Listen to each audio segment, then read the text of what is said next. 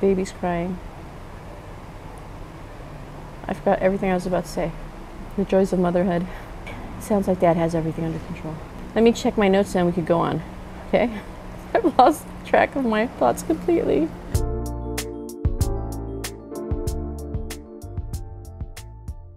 Hi everyone, it's Melissa, your Plantita Abogada here at Tasteful Nodes, coming to you today with a non-aroid episode. So today's topic is going to be about five stunning types of plants that you should have in your collection that are not aroids. Before I get started, as you can see, I've got a whole bunch of plants to show to you. It's probably best to get my disclaimers and a little bit of housekeeping out of the way before the toddler completely destroys everything and comes out here and wrecks the whole place up. He's in a mood today. So, disclaimer number one, KKB tayo, kanya-kanyang bayad. By now, I'm sure our Westerner friends know the phrase, we each pay our own way. Like I said, we've got some great plants here um, on the table today. And while I do recommend these, 10 out of 10, um, what I don't recommend is spending your rent money on these things so please, please, please don't do that. I know some of you have. I'm not paying any plant child support, so don't come after me, okay? Number two, I am not an expert. I am a lawyer by profession. I just happen to read a lot. So when I do provide any factual information in this video, I'll be sure to put the source at the bottom of the screen just in case you need to use this information for any citing for academic purposes, okay? Number three. Since I'm not an expert, I would really appreciate it if you got a second opinion from the people in your area who have dealt with these plants. So, what I'm referring to um, as far as speaking with others in your area, they don't have to be experts, but what they do need to do is have some experience growing these guys and doing them successfully. So, successful experience growing, they can give you advice as to where to buy them at probably cheaper pricing things along the, that nature. Find the experts um, in your community, whether they're professional growers or hobbyists, and by all means, please get a second opinion on everything I've presented to you today. Housekeeping. If you haven't followed this channel yet, why haven't you? Don't forget to follow this channel, subscribe, click that notification bell so you get future updates um, when I release new video. Yeah, let's do that, okay? And you know, feel free to share this information with your friends. Hopefully I'm providing information that others can't understand. But while I'm doing that, I'm making sure to provide this information that is only backed up by scientific fact, okay? Or my personal observations for that matter. Because as you can see, these guys are pretty much flourishing here. okay, so I'm an expert in my area. Yeah, that's it. My little territory here in the world. So looking at the content that I've uploaded, I realized that I have a whole bunch of aroidy stuff. And my garden isn't just filled with aroids. I do have, at last count last year, about 922 plants. There are a lot of propagations there as well, but I do have a lot of different types of plants, as you can see here. And it's important to diversify just a little bit, just because, you know, variety is the spice of life.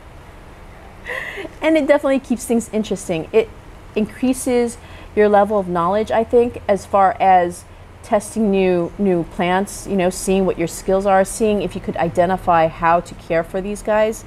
So by all means would absolutely recommend going outside of your comfort zone a little bit when it comes to planting. Just not to keep things monotonous, I think.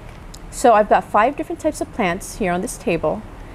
And I would say that all of these guys are actually pretty easy to care for, at least in my experience. I wouldn't try to recommend them if I didn't find them easy. I think what is most important in caring for these plants, just like I mentioned earlier, is trying to figure out what works for them. When you have a general idea of what works for a certain type of plant, it kind of gives you an idea of how to take care of the rest of them. And then everything after that is kind of trial and error because you know, not everything on the internet is true. So let's go ahead and jump in, shall we? So first up are Sansevierias. And the Sansevierias that I have on the table are this guy, which is a Sansevieria flamingo. This guy, who is a Sansevieria white royal crown. Gorgeous, gorgeous plant. And then this guy, who is a Sansevieria black bajo. And I'll go ahead and provide close-up shots for you so you can see um, what I'm working with here. And also probably a matured version of the Black Bajo because he's a juvie right now and he doesn't do his matured form justice. So I'm really looking forward to this guy. Anyway, Sansevierias were originally their own genus, but just recently it was discovered through some testing that they actually are very, very closely related to Dracaena. And they have been since moved to the genus Dracaena. I believe it was 12 or 14 plants that have been renamed under that genus. And um, I think it was one Sansevieria that actually didn't make it make the transition. So that's an interesting fact that I would have to look in the future, but I didn't have time to do that just because of how busy things got. These are colloquially, you know what? Why am I making my life difficult? These are commonly known as mother-in-law tongue and snake plants. And normally people will tell you, you know, it's always on the list of the easiest plants to grow. They're like, yeah, get a Sansevieria. You can't kill it. If this was the Maury Povich show, it's at this point that I would be reading off something saying, and the results say, that's a lie. I've killed a few um, Sansevierias um, earlier on when I was just actually no, I hadn't even start started collecting plants. I just wanted plants in my house. So we're talking about the early 2000s. These guys are quite hardy. They're succulents. Just by the name succulent, tender, juicy, right? Yeah, you get the idea. These guys don't like being drowned in water, and old me had no clue whatsoever. You know, old me just said, "Oh no, my plant is turning yellow. What do I do?" Newer me actually realizes that this plant it doesn't like being watered so much. It can handle its water. This is the big disclaimer for these guys is that they will tolerate being watered as long as their media is well draining.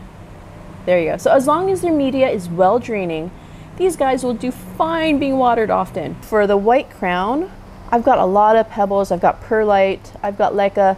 I've got some coconut coir, and that would be the moisture retaining ingredient in my mix for these guys and they are growing wonderfully. They get watered on the same schedule my aroids get watered, just because it would be too difficult for me to have to water everybody on a different schedule when they're all mixed together in the same area. I guess that would be my greatest tip from this episode, if there was anything, is know your plant's needs and make the necessary adjustments so that they can actually accommodate your lifestyle. When your life is easier, your plants will flourish. They'll be even better. Just because you're not in a stressful place, they're not in a stressful place, life is good, right? Same goes for Sansevierias. With these guys, I have them in a indirect lighting situation. So we've got bright indirect light. This is the swimming pool area. So what else? With these guys, I think the biggest pest problem I've ever had were scales. And easily enough remedied. I use a neem solution, neem oil solution mixed with some dishwashing liquid. I know that there's some fancy insecticidal plant soaps out there, and I haven't had the opportunity to try it yet just because of what limited options I have here. But the neem mix works well. Spray it on, leave it for a few minutes, 15 to 30 minutes, take your soft bristled toothbrush, like some of the old stuff that you've used and um, that you've sanitized with some hot water, and then just brush it off, brush the scales off, watch them come off. The most important thing about dealing with neem and scales is that you wash these thoroughly. So you wash the, the neem off of these plants thoroughly and make sure that they're not in a place where they could be exposed to sunlight because the neem will burn if you do have any remaining on the leaves. Yeah, so with these guys, absolutely um, recommend. Easy enough to care for.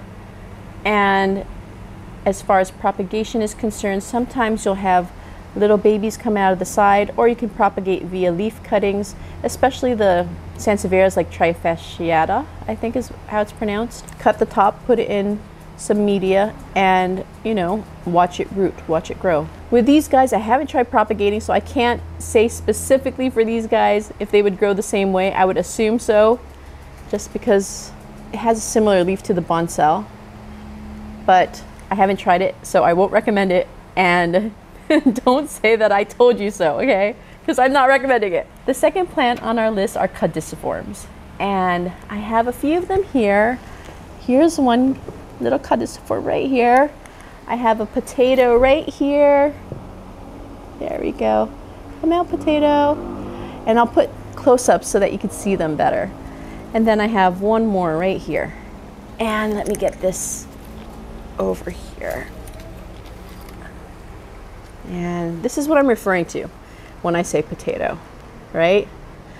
According to the Division of Agriculture at the University of Arkansas, a caudiciform is a type of plant that exhibits short, fat, and swollen trunks, um, which are referred to as caudics. So, one thing about caudiciforms is that while there are some cacti that also exhibit the same characteristics of short, um, round, swollen stems, the caudiciforms, the caudixes themselves, don't photosynthesize.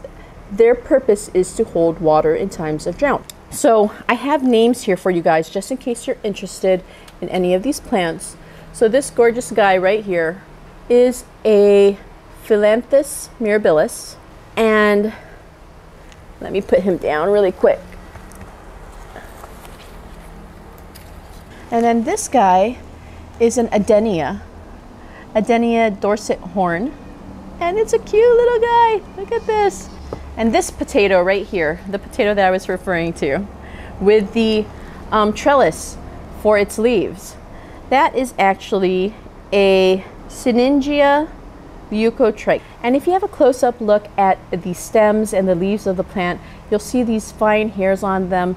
And they kind of remind me of the same things that, that air plants, that tillandsias have, which are called trichomes. And I don't know for sure if that's the purpose of the hairs on the leaves and stems, but we'll find out soon enough. Some popular caudiciforms on the market include ponytail palm, that giant guy right behind me up there in the back. Yeah, he's a few decades old. He belongs to my mother-in-law and he's an amazing, amazing plant. Also the Stephania series, so you have Stephania suberosa and Stephania erecta. Gorgeous plants. I had an erecta in my collection that I really enjoyed watching wake up with each rainy season except a rat decided to take a bite out of her because I guess she looked too potatoy and just completely destroyed her. It was heartbreaking. In pop culture, I think we have the baobab trees that a lot of people are pretty familiar with. If you've ever seen the movie or read the book The Little Prince, yeah, those are those baobab trees that he kept digging out of his planet, right? That, that were taking over. You've seen them on National Geographic. I believe those baobab trees are located in Madagascar. Um, can't remember which part of Africa, and I believe Australia. So baobab trees, excellent plants, gorgeous, really cool. So the fourth type of plant that I would recommend to anybody looking to venture out of um, aroids are tillandsias. If you're familiar with the name tillandsia, you know that I'm talking about air plants. So we've got right here um, the Tillandsia Mali Dofitas. It's a Philippine made hybrid. We've got right here Tillandsia Showtime, which is a hybrid by uh, Mark Dimmitt. And we've got the Tillandsia novakii, which is a species plant right here. So with tillandsias, they can either be epiphytes, which are plants that begin their life cycles in trees, or they can be lithophytes, lithophytes, which are plants that actually begin their life cycles on rocks. Interesting. The, let me go see if I have any evidence. So if you look at the Mali Dofitas right here, let me pull her out. So if you look at the Mali Dofitas, the roots function as a means of stabilizing a plant, of attaching it to something. And there it is. It's attached to this little um, plate right back here. So it doesn't really function in a way that traditional plants do, where the roots are responsible for uptake of nutrients and water. Oh, Novakii, I love you too. It does have a function, and that's to provide the plant stability in whichever growing conditions it is in. What does provide the plant nutrition would be the leaves. So on these leaves, and I'll go ahead and get close up video because the Novakii is a perfect example of what I'm talking about. On the leaves are these tiny fine vessels, like these hairs. It's a little bit fuzzy, like think um, velvet, like really low pile velvet. So very, very, very low. It's just fuzzy. And um, these trichomes, which I mentioned earlier, remember when I was talking about the Sinningia leucotricha? So when I was talking about that, I was referring to these guys. And I'll put a close up on the screen right now. But the leuco, leucotrichs, but the trichomes actually serve as the vessels or hairs that absorb nutrition and moisture for air plants. And it's such a cool little plant because you don't need soil to put it in, right? You just need something to attach it to or to display it in. Voila! So with my air plants, I have a lot of them growing in my greenhouse. This is under shaded conditions, of course. So I think it's a 70% shade net.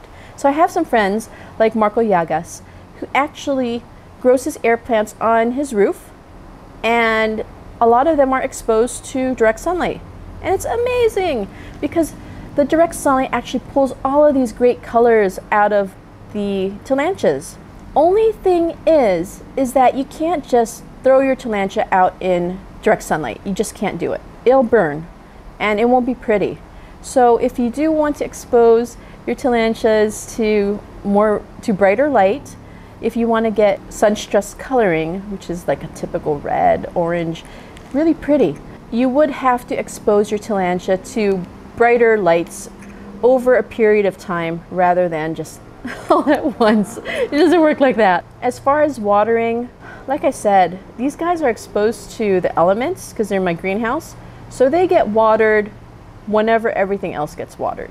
I don't know if I would recommend to throw a tillandsia outside and leave it to the elements unless you've again trained it like you've trained it with the light to absorb water and to remove water as quick as possible. Because the biggest problem for tillandsias is because of how they're built. Let's have a look at the showtime. Because of how they're built, oh my gosh, my hand. So because of how they're built, tillandsias tend to take water through their leaves, right? But the water also trickles down into the body of the plant. And that's where water gets trapped. And when you have water trapped, you're in big trouble. Or actually, your tillandsia's in big trouble because that is actually a recipe for rot. And once the rot starts, it's really hard to, one, capture it as it happens, two, to actually save your tillandsia from dying. These guys are exposed to the elements and they're used to my conditions here, which is fantastic. There's a lot of growth come rainy season. They, they enjoy it. During the summer months, oh my gosh, I have to water them every day. I have to water them every day. It's bad. And watering your tillandsia that's outdoors isn't much of a problem if you've got good air circulation, if the water dries up fast. If the water doesn't dry up fast, you're in trouble. Again, water will end up inside your tillandsia and rot. Sometimes you gotta go somewhere, your tillandsias are in covered areas and you don't know what to do. This is what I did um, when I was faced with that issue. I actually soaked these guys. Yeah, I soaked them. And what I did was after soaking, I, I would have my table set up where I would have all of these tillandsias hanging out upside down on these tables. So I would have these little containers that could help prop these guys up and hold it upside down. Um, just because it would help drain the plant. So the trichomes absorbed what was needed. All of these leaves have all these trichomes. And any excess that were inside the plant were drained because they were upside down. There are some plants, there are some tillandsias that I worry about doing this method with. So the Showtime, which is a hybrid by Mark Dimmitt, is a hybrid between Tillandsia streptophylla and Tillandsia bulbosa. And the bulbosa parent is the one that worries me because bulbosas are have these really bulbous, as you can tell by the name, bulbous um, bodies, and they're pretty compact. So it's not like the water could come out as easily as, let's say, this guy, the Novakii, where the leaves are kind of open.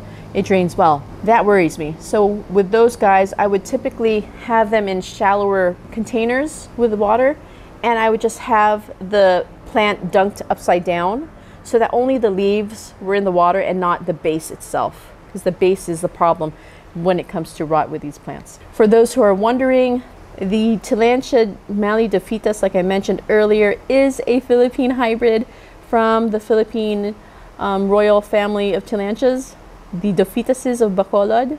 And in fact, Mali is named after one of their daughters. The Mali Dofitas is a hybrid between Tillandsia caput medusae and Tillandsia bulbosa. So they have a similar parent, shared parent between these two. Propagation for these guys is fairly easy. Uh, as you can see down here on the Tillandsia Showtime, got babies. Yeah, so after the flower, no, you know what? I'm getting ahead of myself. There's a process to this thing, you know, right? Romance before anything else. So, romance. The plants, the tillandsias, tend to turn a different color when they're about to flower. So the tips the very tops of the leaves will start turning red. Um, there's an ionantha that turns yellow, and that's when you know the flower is going to come out. So the flower comes out, and you're like, yay, flowering time. Yes, flowers mean babies, right? For tillandsias, it also means that your tillandsia is on a very limited lifespan at that point, but that's okay because babies. Let me get a tillandsia that everyone is familiar with, okay? I'll be right back. Okay, so tillandsia that everyone um, who's ever owned a tillandsia is familiar with, is the tillandsia ionantha. So these guys are the ones that are typically for sale everywhere. I mean, everywhere, right? When these guys flower, it's a cute little flower that comes out here, and everyone's happy about it until they find out that their tillandsia is going to die. You know, circle of life.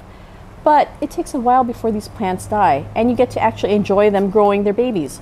And I'll go ahead and zoom in on this, but the Tillandsia babies are like, I got one right here. I probably have more coming out elsewhere.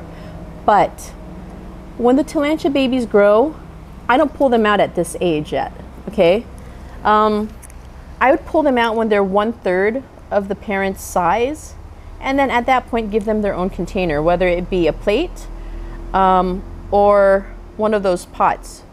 The pot is actually filled with materials that are really well, well draining. The purpose of it, again, to have materials in a pot is not for sustenance or nutrition, but for something that the tillandsia could hang on to. So inside the pot is some coconut cube and a lot of pumice, big size pumice, big kind. You can also propagate your tillandsias via seeds, which I have not done because I don't have the patience to wait two years for them to develop. I don't have the patience.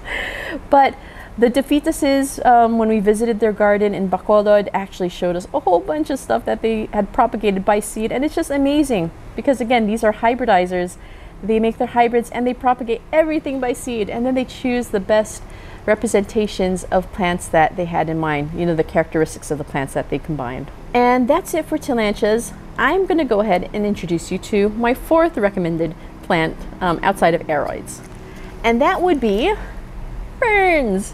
So we've got two kinds of ferns here. We've got um, platycerium, which are right down there, those two guys. They're called staghorn ferns commonly, but there are a whole bunch of platyceriums and a whole bunch of hybrids on top of that.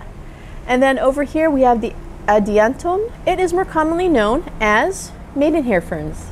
So you see these guys right here. With these guys, the care is slightly different between the two of them, and it's really important for you to know which kind of fern you're picking up. I would say that both have their own benefits and drawbacks, but let me go ahead and dive right in right now, okay? First up, the adiantum. Now, we'll call it by the maidenhair fern. So these guys are great. Give them a rich moisture holding soil. Make it something that's not too deep, so a shallower pot and a pot that has a lot of holes in it that's well draining, right? So the key for these guys is that their substrate be moist but not soggy wet because they'll die. What's nice about these guys, I'm gonna have to show you video from the greenhouse, is that underneath all of these leaves, all, all of their fronds, if you have a look at them, are all of these spores.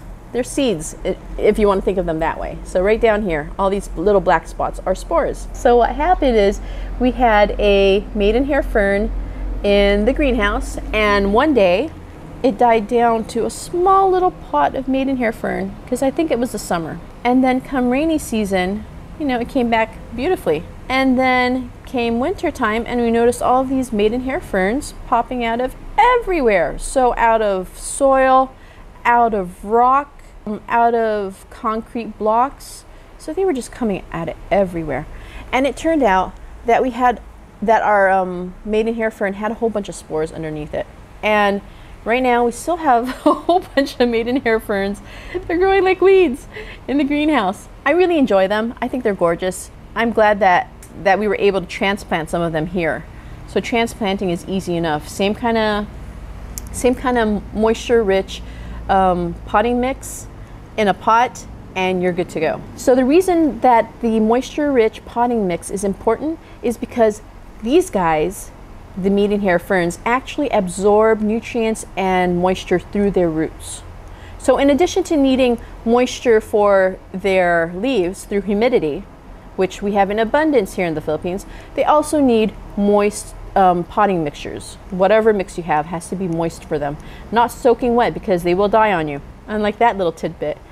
The platyceriums have a root ball, but the, they're not as root ball dependent on nutrition and um, moisture as these guys are. So the platyceriums, and let me go pull one of them.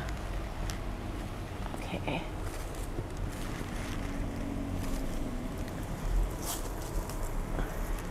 Oh my gosh.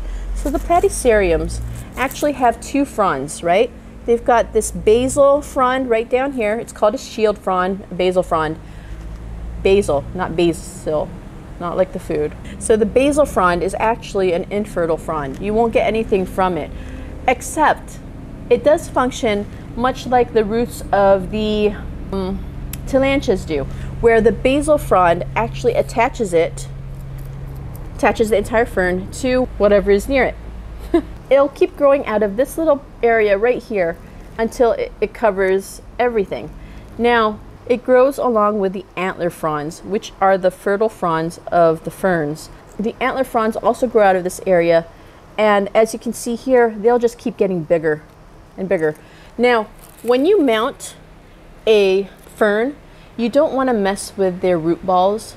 In fact, I try not to I had one accident where it had fallen to the ground right off of out of its container. So I had to pick it up and I had to see what was going on. And yeah, some root ball fell out. Don't ever do that.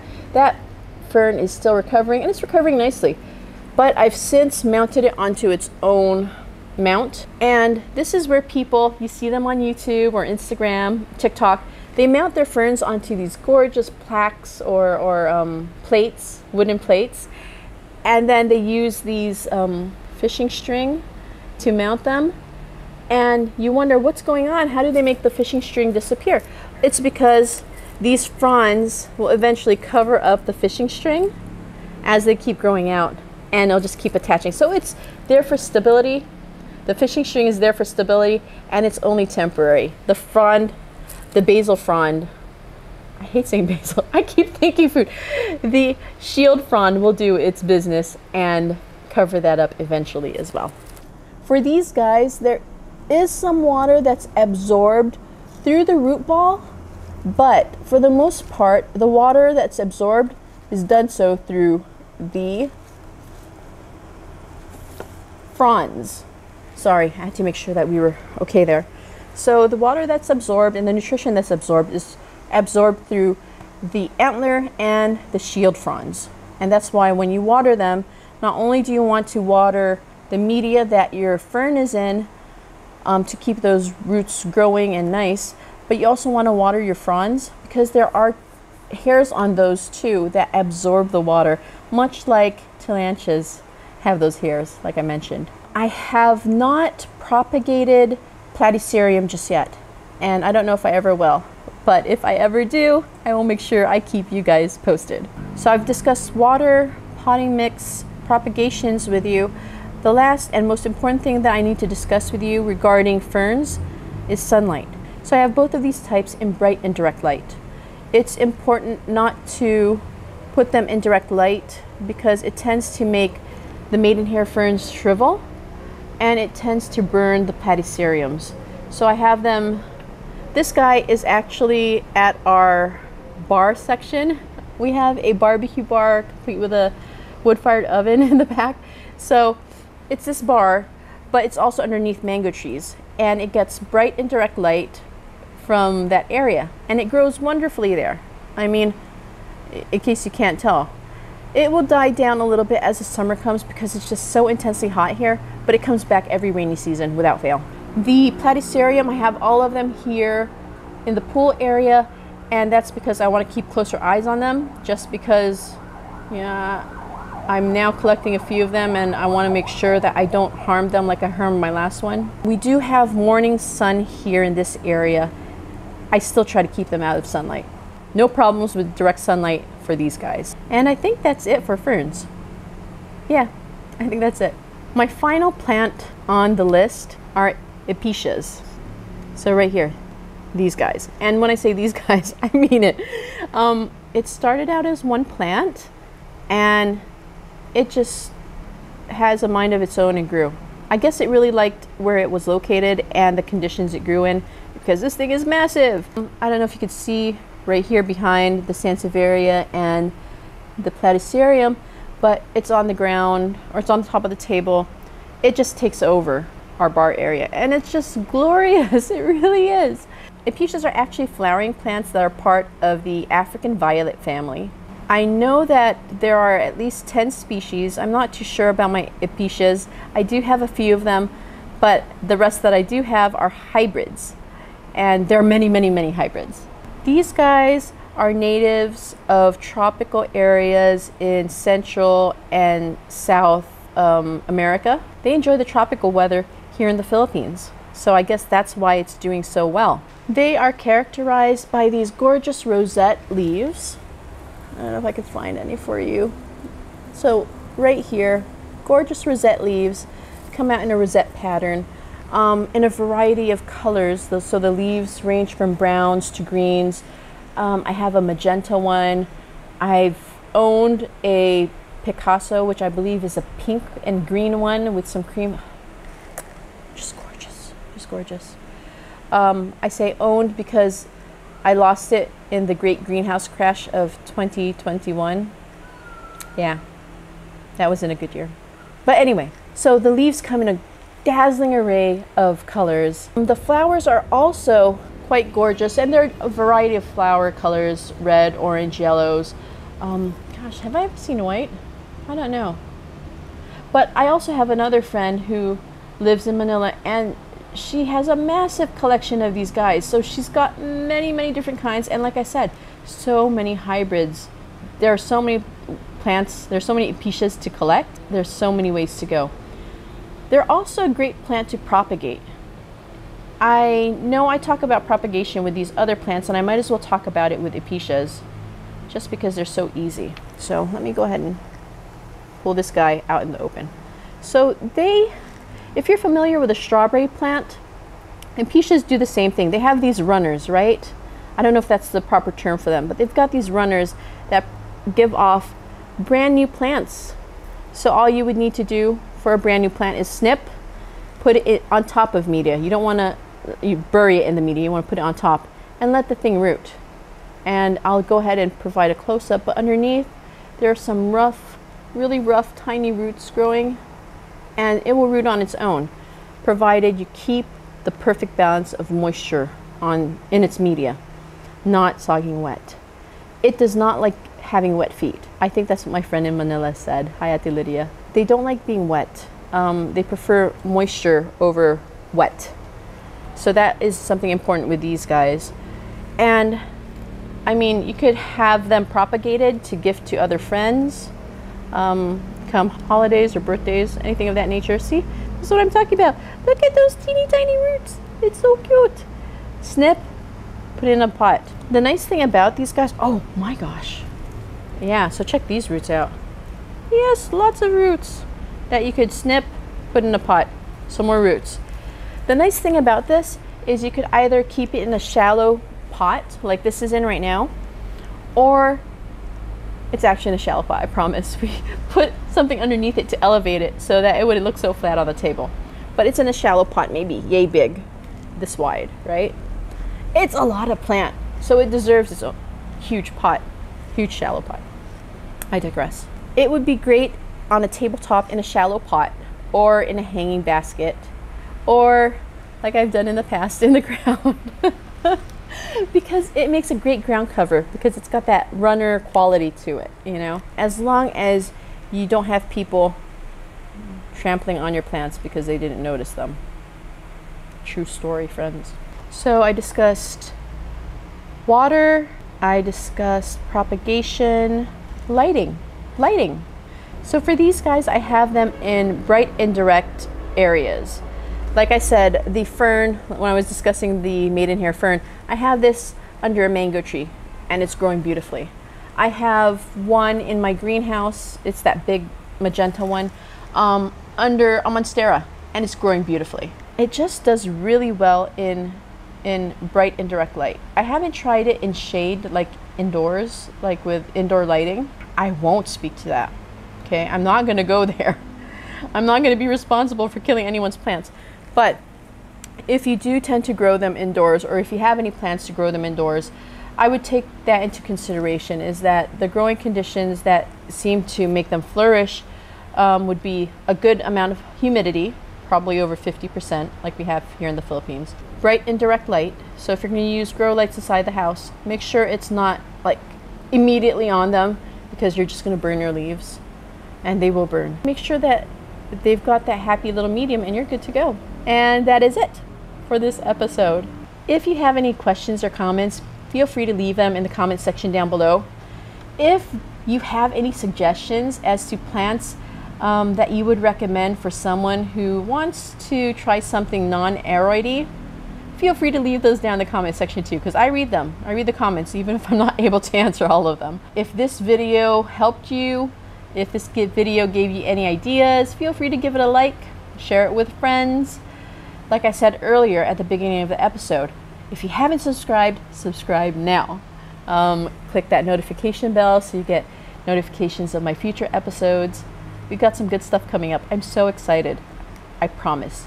Um, October is going to be fun. If you want to read written guides, I have them on Facebook. I'm there as Tasteful Nodes. If you just want to look at pretty pictures or relaxing videos, check me out on Instagram. Short videos are there. I'm there as Tasteful Nodes as well. Okay, guys, that's it for me today. Until next time, sa uulitin, keep your notes classy and tasteful. Bye.